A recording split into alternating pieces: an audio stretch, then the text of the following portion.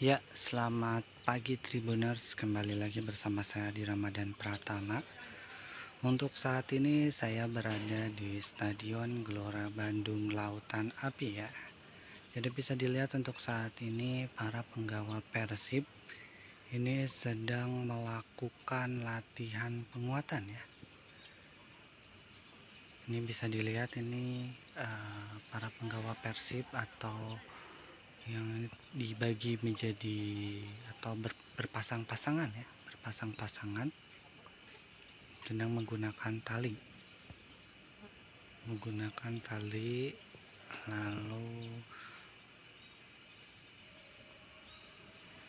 jadi untuk latihan penguatan ini dipimpin langsung oleh asisten pelatih baru ya yaitu Miro Patrick ini yang bagi tribuners atau boboto yang belum mengetahui Miro Patrick ini yang mana ini yang pakai baju hijau yang sedang berbicara dengan Ciro Alves ya.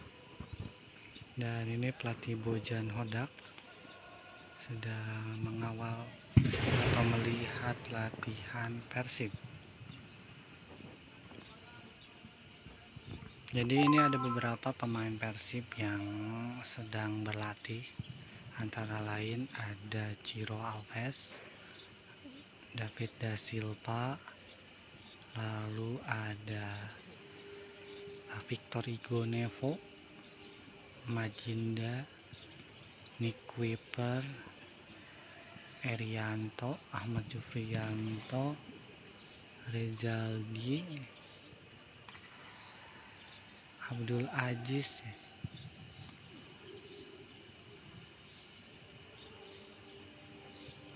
Ezra Deddy Kusnandar juga ini sedang uh, berlatih ya. Latihan penguatan untuk menguatkan para otot-otot para pemain ya.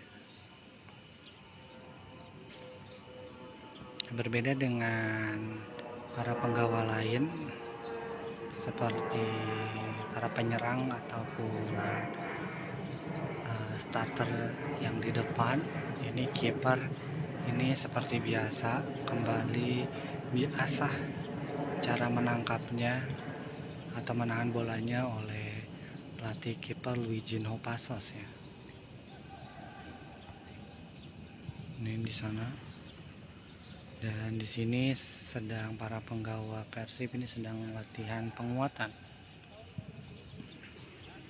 Latihan penguatan dan ini ada beberapa pemain yang tidak terlihat ya. Seperti empat penggawa uh, yang dipanggil timnas yaitu Maklok, Edo Febriansyah, lalu Rian Kurnia dan Rahmat Irianto. Empatnya ini tidak terlihat di sesi latihan hari ini ataupun kemarin ya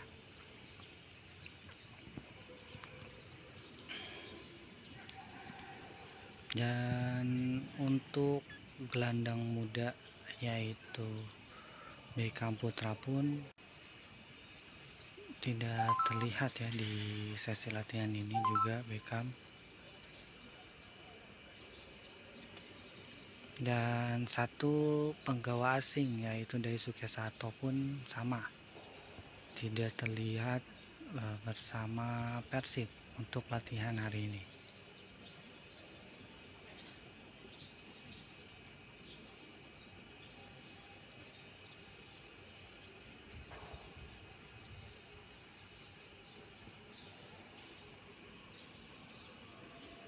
dan salah satu menara kembar Persib yaitu Alberto pun sama ya. Masih belum terlihat di sesi latihan hari ini ataupun kemarin. Jadi ada tujuh pemain yang hari ini tidak terlihat uh, berlatih bersama tim Persib Bandung ya. Pasca pertandingan melawan Al eh Persija Jakarta ya di Stadion Patriot Kota Bekasi pada 2 September 2023 lalu.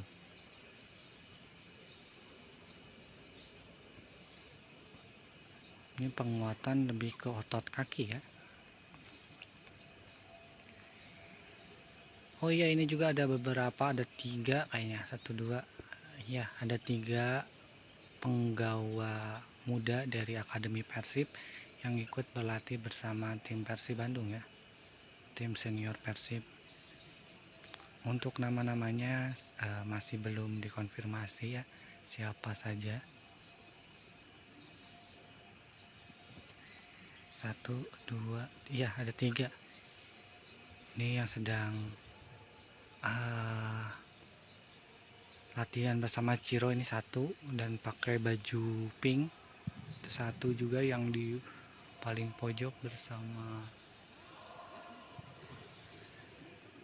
Febri atau siapa nih juga satu ya. Jadi ada tiga. Bojan Hodak juga. Sedang memantau perkembangan para pemainnya.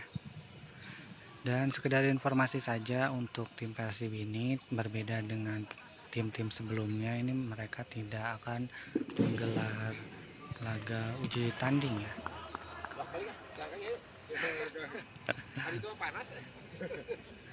Dan untuk suasananya di Stadion Gelora Bandung Lautan Api ini terpantau sepi ya dari Boboto. Karena memang untuk saat ini akses ke dalamnya itu dibatasi jadi hanya untuk pertandingan saja Boboto bisa hampir ke dalam stadion melihat megahnya kandang Persi Bandung sekaligus kandang Persikabo ya di Liga 2 eh Persikabo Persikab Kabupaten Bandung. Jadi Stadion GBLA ini seperti yang diketahui merupakan kandang versi Bandung ya di Liga 1 dan untuk Liga 2 nya itu akan digunakan oleh Persikab Kabupaten Bandung jadi nanti untuk Liga 2 nya itu akan dimulai pada hari Minggu 10 September 2023 dan Stadion Gelora Bandung Lautan ini api ini dipilih atau menjadi kandang dari salah satu tim di Liga 2 yaitu Persikab Kabupaten Bandung. Nah ini kemungkinan uh, para penggawa Persib ini akan menyantap menu latihan baru. Ini kemungkinan seperti kemarin jadi uh, satu lawan satu jika kebobolan bertambah satu orang terus hingga habis. Tapi ini nggak tahu nih. Tapi kelihatannya seperti itu ya. Kita lihat saja apakah menu latihan hari ini seperti apa dan bagaimana?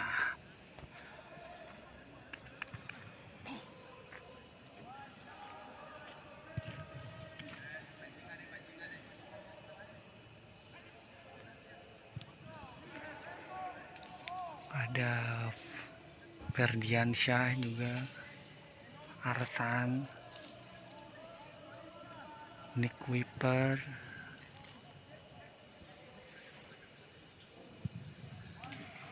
nah ini Miro Patrick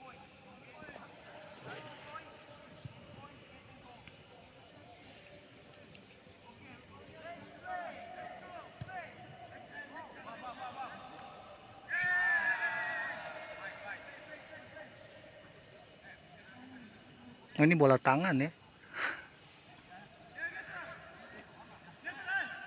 Ini lebih ke bola tangan.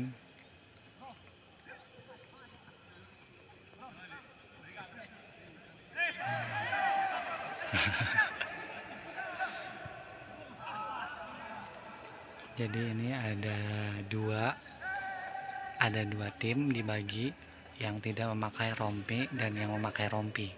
Jadi tujuannya yaitu mencetak bola atau mencetak gol lewat lemparan.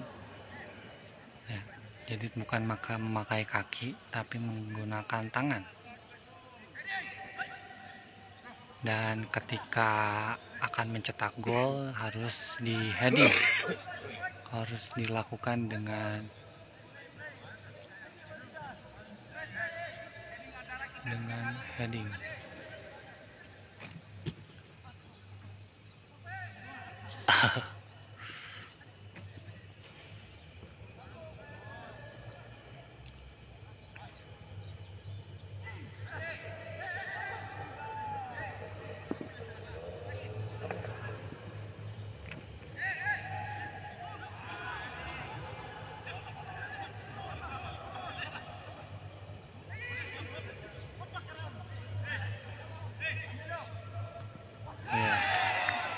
harus di heading ya jadi ketika ingin mencetak gol atau mencetak angka itu harus di heading ya untuk masuk ke gawangnya.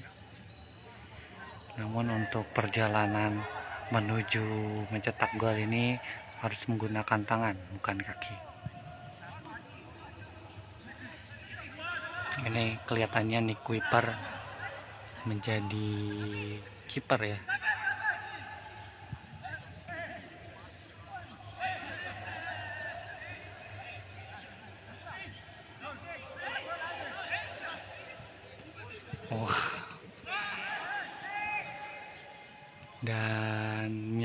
kiper di sudut yang tidak memakai rompi ini ada Ahmad Jufrianto.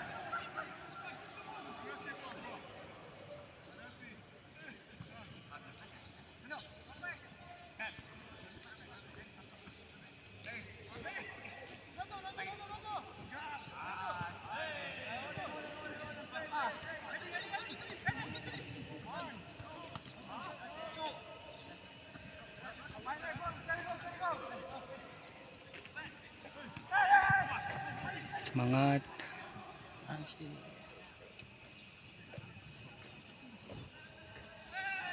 Oh, digabrung. Oh, istirahat. Kembali pendinginan dulu ya.